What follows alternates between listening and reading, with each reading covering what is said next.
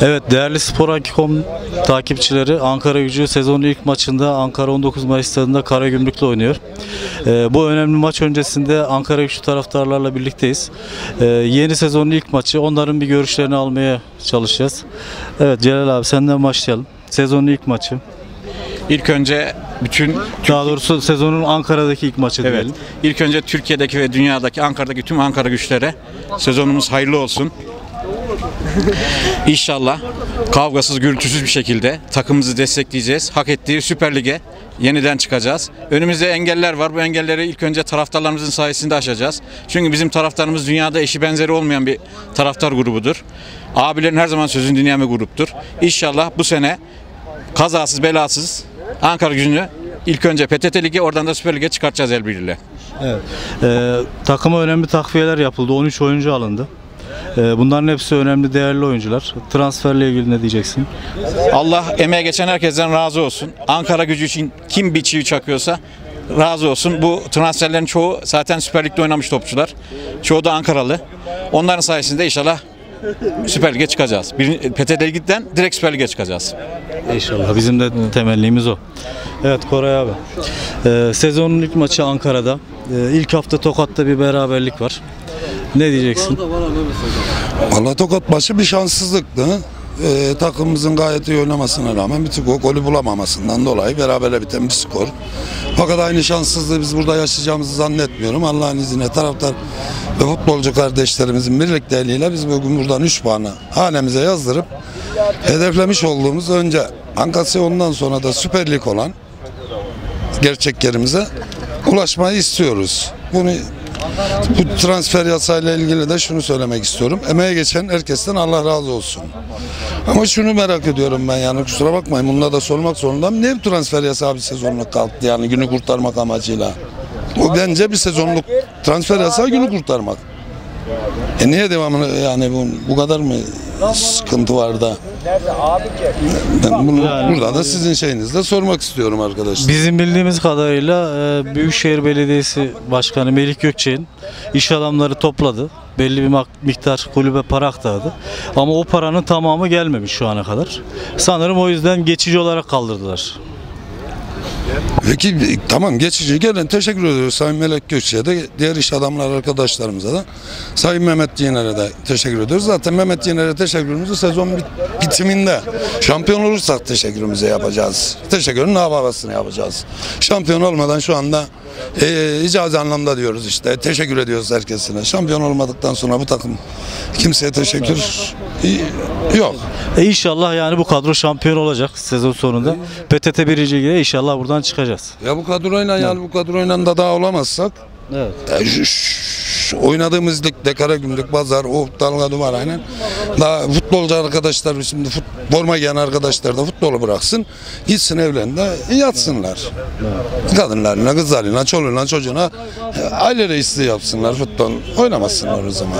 Bence yani. söylüyorsun. Dünyanın dünyanın hiçbir yerinde e, Ankara gücü taraftarı gibi takımını seven ve gerçekten böyle çeken bir taraftar topluluğu olmaz. Fenerbahçe bile e, Paso Lig'de 10 bin kişi oynadı. Yani rekor dediler 10 bin kişi.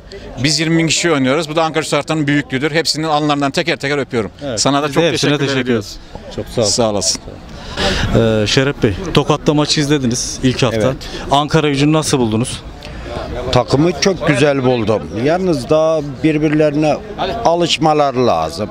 Çalışmaları lazım. Yani eski ruh kazanmaları için çok çok çalışmaları lazım. Takımın zamana ihtiyacı var diyoruz değil mi? Aynen.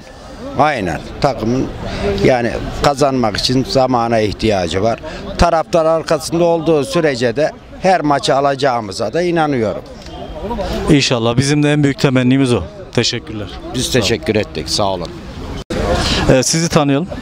Ergün Koçak ben. Ankara gücü taraftarıyım. Evet Ergün Bey, e, Tokat'ta maçı izlediniz. Ankara gücünü ilk hafta nasıl buldunuz? Ankara gücü yeni bir takım. Ee, şu an kadrosu bu lige göre en üst düzey bir kadroya sahip. Takım oyuncularının birbirine alışması lazım. Tokat'ta da bunu gördük. Ee, baskılı oynadık. Tek kale oynadık. Tokat Spor'un bir tek hata vardı ama e, maalesef gol yollarında etkisiz kaldık. Yani benim diyeceğim 3 puan. 3 puan aldığımız zaman bu takımın üzerindeki stres gidecektir. E, ve bu haftaki bu maçtaki 3 puan çok önemli. Bu 3 puan aldıktan sonra önümüzdeki 4 haftada e, galip geleceğimizi düşünüyorum yani. Yeni transferleri nasıl değerlendiriyorsunuz ilk hafta itibariyle? Yeni transferler tabi birbirine uyum sorunu var. E, kondisyon sorunu biraz gözlemledik Tokat'taki maçta. Gerçi hava çok sıcaktı ama yani bugün tam futbol oynamaya elverişli bir hava. Seyirci burada. E, sağ düzgün. Ya bugün daha iyi değerlendireceğimizi düşünüyorum. Ya burada en önemli şey Ankara gücümüze sahip çıkmak lazım. Küsen taraftarlarımızın artık stadyuma gelmesi lazım. Bazı taraftarlarımız gelmeye başladı. Hep birlik olursak e, belki bu maçta da mağlup olabiliriz, berabere kalabiliriz. Ama bu takımı sonuna kadar desteklememiz lazım. Ankara gücü için bu sene son şans diye düşünüyorum. Yani bu sene çıkarsak bizi kimse tutamaz. Çıkamazsak da e, çok iyi şeyler düşünmüyorum. Yani Ankara gücü için hayırlı olmaz. O yüzden bu sene tek parola şampiyonluk. Tek temennimiz takımın şampiyon olması. Ee, kötü ihtimal düşünmüyoruz, iyi ihtimal düşünüyoruz. İnşallah şampiyon olacağız. İnşallah bu sene şampiyon. Teşekkürler, sağ olun. Ben Vural Koçer. 47 yıllık Ankara güçlüyüm. Ankara güçlü olmaktan da büyük mutluluk duyuyorum, onur duyuyorum. Ankara gücü camiası kadar büyük bir camia hemen hemen Türkiye'de yok. Bunun değerini bütün grupların, seyircinin, Türkiye'nin bilmesi lazım. Eğer bilirsek aşamayacağımız hiçbir güç yok. Bu büyük seyirciyle şampiyon olacağız. Seneye de PTT liginde şampiyon olacağız. Sonra da Türkiye liginde şampiyonluklar için mücadele mücadele edeceğiz. Benim tek korkum kendi aramızda bölünmek. Eğer biz bunu başarabilirsek kesinlikle bizi hiç kimse tutamaz. Yine diyorum Ankara güçlü olmaktan büyük mutluluk duyuyorum. Ee, her şeyimiz Ankara gücü, aşkımız Ankara gücü, yaşantımız Ankara gücü. Ankara gücüne gö- göre hayatımızı planlıyoruz, yapıyoruz, programlıyoruz. Onun için seyircilerle, bu güzel seyircilerle, bu güzel gruplarla şampiyon olacağız. Başka da hiçbir şey olamaz.